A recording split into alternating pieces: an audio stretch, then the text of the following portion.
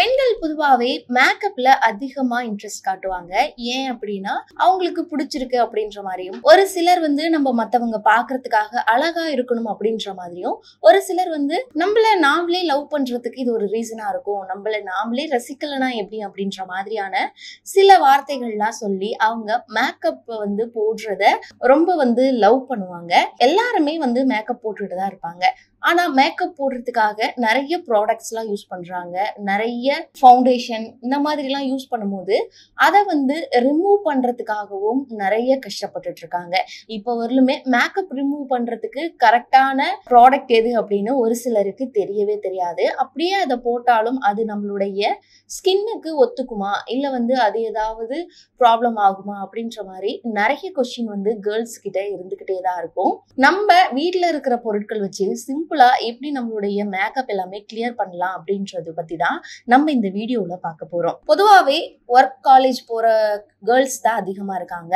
So அப்படி இருக்கும்போது அவங்க வந்து ரொம்ப சிம்பிளான ஒரு மேக்கப் தான் போடுவாங்க. ஏன்னா கல்யாணத்துக்கு இருக்க மாதிரி ரொம்ப ஹெவி மேக்கப்லாம் போட மாட்டாங்க. ஸோ அந்த சிம்பிள் மேக்கப்புமே நம்ம வீட்டில் இருக்க பொருட்களை வச்சு ரிமூவ் பண்ணிக்கலாம். அப்படி பார்க்கும்போது எல்லார் வீட்லேயுமே இருக்கக்கூடிய ஒன்னாதான் பால் இருக்கு. அந்த பால் வந்து நம்ம ஒரு காட்டன் துணியில வச்சு அதை நம்ம ஃபேஸ் ஃபுல்லா அப்ளை பண்ணி துடைக்கிறது மூலியமா நம்மளுடைய மேக்கப் ரிமூவ் ஆகும் அப்படின்னு சொல்றாங்க. நிறைய எண்ணெய் வகைகளை எல்லாருமே ப்ரிஃபர் பண்றாங்க. ஏன் அப்படின்னா அந்த எண்ணெய் வந்து நம்ம எவ்வளோ விதமான மேக்கப் போட்டாலும் அதை அப்படியே கிளியர் பண்ணிடும் அப்படின்றதுக்காக அப்படி ஒரு எண்ணெய் வகைகள்ல தான் ஜோஜோபா எண்ணெய் அப்படின்னு சொல்றாங்க. மேக்கப்பை நீக்கிறதுக்கு இது ரொம்பவே பயனுள்ளதா இருக்கும் அப்படின்னு சொல்றாங்க. சருமத்துக்கு ஒரு ஆழமான ஈரப்பதத்தை கொடுக்கறதுக்காகவும் இது நிறைய பயன்படுத்துறாங்க அப்படின்னு சொல்றாங்க. அது மட்டும் இல்லாம விட்டமின் இ e வந்து எல்லாருக்குமே தெரியும். ஸ்கின் கேருக்காக ரொம்பவே எல்லாருமே பயன்படுத்துவாங்க. அந்த மாதிரி ஸ்கின் கேருக்கு பயன்படுத்துற விட்டமின் இ e இந்த ஜோஜோபா எண்ணெயில இருக்கு அப்படின்னு சொல்றாங்க. நம்மளுடைய கண் இமைகள் முடி வளர்றதுக்காக ரொம்பவே உதவியா இருக்கு அப்படின்னு சொல்றாங்க. நம்மளுடைய லிப்ஸ்ல ஏதாவது வெடிப்பு வறட்சி போன்ற மாதிரிலாம் இருக்கு அப்படின்ற பட்சத்துல நம்ம இந்த ஆயில் வந்து யூஸ் பண்றது மூலியமா அதையுமே சரி பண்ணும் அப்படின்னு சொல்றாங்க. அடுத்ததா என்ன அப்படின்னு பார்க்கும்போது ரோஸ் வாட்டர் எல்லாருமே இப்போ வந்து ரோஸ் வாட்டர் யூஸ் பண்ணிக்கிட்டு தான் இருக்காங்க. அந்த ரோஸ் வாட்டர் நம்மளுடைய சருமத்துக்கு நிறையவே ஹெல்த் பெனிஃபிட்ஸ்லாம் கொடுத்துட்டு தான் இருக்கு. மேலும் நம்மளோட ஸ்கின்னை வந்து ரொம்ப கிளியராகவும் ரொம்ப க்ளோயிங்காகவும் வச்சிருக்கிறதுக்காகவுமே இந்த ரோஸ் வாட்டர் அதிகமாக பயன்படுத்துறாங்க.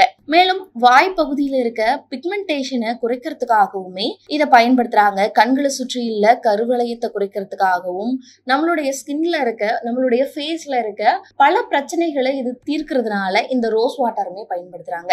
இந்த ரோஸ் வாட்டரை நம்ம மேக்கப் ரிமூவ் பண்றதுக்கு பயன்படுத்துறது மூலியமா எந்த ஒரு சைடு எஃபெக்டும் வராது அப்படின்னு நம்பப்படுது. நம்ம எல்லாருக்குமே காமனா தெரிஞ்ச ஒரு எண்ணெய் அப்படின்னா அது வந்து தேங்காய் எண்ணெய் தான். நம்ம தேங்காய் எண்ணெயை மேக்கப் ரிமூவ் பண்ணுறதுக்காகவும் யூஸ் பண்ணலாம். இதில் இயற்கையாகவே மாய்ஸ்சரைசர் இருக்கிறதுனால நம்ம மேக்கப்பை அகற்றும் போது மேக்கப் பொருட்களால் ஏற்படுற சரும பாதிப்புகள் எல்லாமே இது தடுக்குது அப்படின்னு சொல்கிறாங்க அது மட்டும் இல்லாமல் நம்மளுடைய ஃபேஸில் இருக்க ஒரு விதமான வறட்சியையுமே தடுக்குது அப்படின்னு சொல்கிறாங்க எண்ணெயிலையுமே விட்டமின் இ e நிறைய இருக்கிறதாகவும் சொல்கிறாங்க அடுத்த ஒரு மேக்கப் ரிமூவர் அப்படின்னா ஷியா பட்டரை சொல்கிறாங்க ஷியா வெண்ணெய் சருமத்தில் இருக்க அதிகப்படியான எண்ணெய் பசைய போக்குது அப்படின்னு சொல்றாங்க. ஈரப்பதத்தை தக்க வச்சு மேக்கப் அகற்றியா இந்த ஷியா எண்ணெயை பயன்படுத்தினா நமக்கு எந்த விதமான சைடு எஃபெக்டும் வராது அப்படின்னு சொல்றாங்க.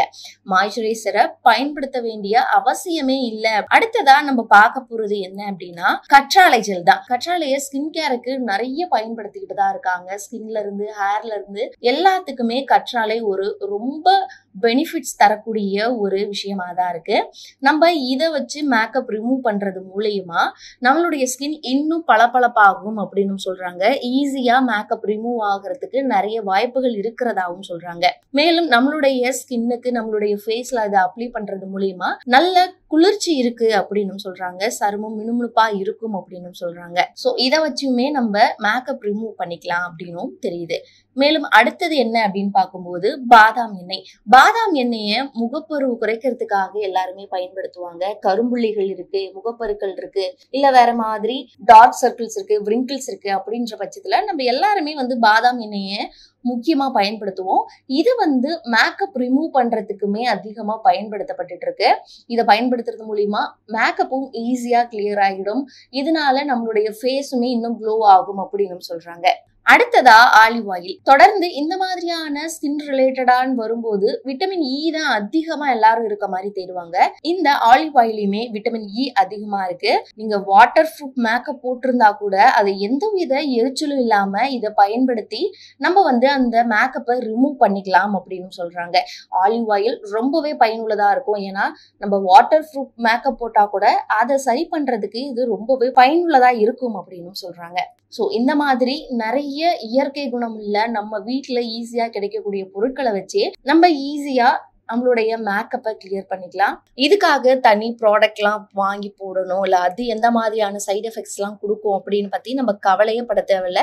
இந்த மாதிரி ஒரு சிம்பிள் பொருட்களை வச்சே நம்மளுடைய மேக்கப்பை நம்ம கிளியர் பண்ணிக்கலாம். இல்லை இதை தாண்டியும் உங்களுக்கு வேற எந்த மாதிரியான டவுட்ஸ் இருக்கு? இல்லை இது யூஸ் பண்ணால் எனக்கு ஏதாவது அலர்ஜி வந்துடுமா எனக்கு இந்த மாதிரியான ஸ்கின் ப்ராப்ளம்ஸ்லாம் இருக்கு அப்படின்ற பட்சத்தில் நீங்கள் உங்களுடைய டாக்டரை கன்சல்ட் பண்ணி அதுக்கேற்ற மாதிரியான ஒரு சொல்யூஷனை நீங்கள் தேடிக்கலாம்.